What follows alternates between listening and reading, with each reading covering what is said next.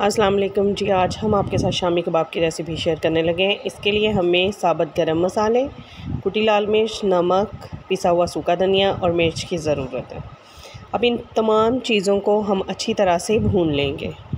जब इनको हम भूनेंगे तो इनमें से एक अच्छी सी खुशबू आएगी और जब हम इसे पीस के डालेंगे तो इसका बहुत अच्छा सा फ्लेवर आएगा। जो कि बहुत ही मज़े जब आप इसको बनाएँगे और ये मसाला आप अंदर डालेंगे तो इसका एक डिफरेंट सा टेस्ट आएगा। ये बिल्कुल ही एक डिफरेंट सी रेसिपी है और डिफरेंट से शामी कबाब हैं और बहुत मज़े के बनते हैं।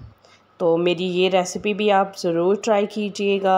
आपके लाइक्स एंड कमेंट्स से मुझे पता चलता रहता है कि आपको मेरी रेसिपी बहुत पसंद है। तो जी, यहाँ पर हमारा मसाला सारा भुन चुका है और इसमें से अच्छी सी खुशबू आनी स्टार्ट हो गई है। अब हम इस मसाले को ठंडा कर लेंगे। तो जी, ये देखें। ये मसाला जो है, हमने ठंडा करके इसको अच्छी तरह से पीस लिया था। अब मेरे पास चिकन, आलू और दाल थे। ये आप अपने हिसाब से किसी भी मकदार में ले सकते हैं। इनको मैं अच्छी तरह से ब्लेंड कर लिया ब्लेंड करके इसका एक अच्छा सा मिक्सचर बना लिया है। जो मसाला हमने पीसा था, हम वो सारा मसाला इसमें ऐड कर देंगे। मसाला ऐड करने के बाद हमने इसको अच्छी तरह से मिक्स करना है।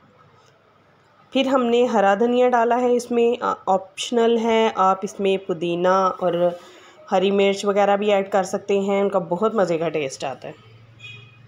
एक प्याज को मैंने छोटा छोटा सा चॉप करके वो इसके अंदर ऐड कर दिए। अब मैं इसको दोबारा से अच्छी तरह से मिक्स करूँगी। ताकि ये सारी चीज़ें इसमें यकजान हो जाएँ। अब टू टेबल स्पून मेरे पास घी था, ये देसी घी है जी, ये मैं इसके अंदर ऐड कर रही हूँ। इसको ऐड करने से ये होगा कि ये जो हमारे कबाब हैं, ये बहुत सॉफ्ट से बनेंगे।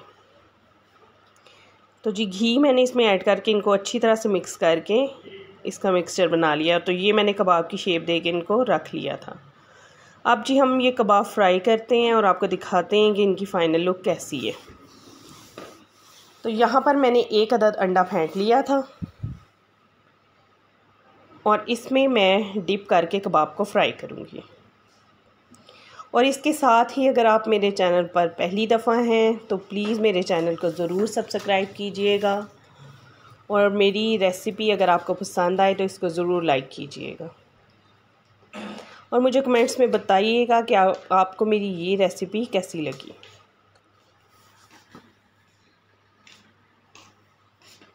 तो जी, यहाँ पर हमने अपने ये कबाब जो हैं, ये फ्राई कर रहे हैं।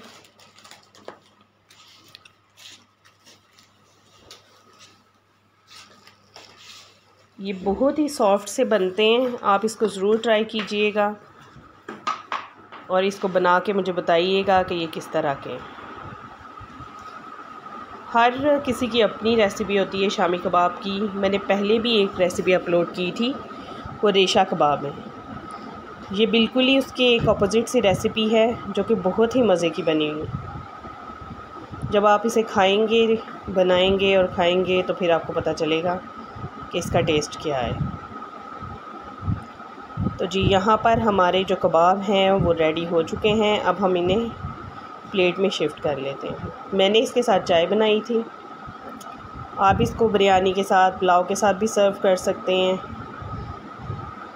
तो जी, ये देखें, हम अब आपको खा के बताते हैं कि ये कैसे बने हैं। देखें, ये कितने सॉफ्ट से हैं। और ये बहुत मज़े के थे, हर चीज़ परफेक्ट है इसमें, कोई इसमें ज़्यादा नहीं और जो हमने मसाले भुने हैं, उनका एक अलग सा ही इसमें टेस्ट आ रहा है।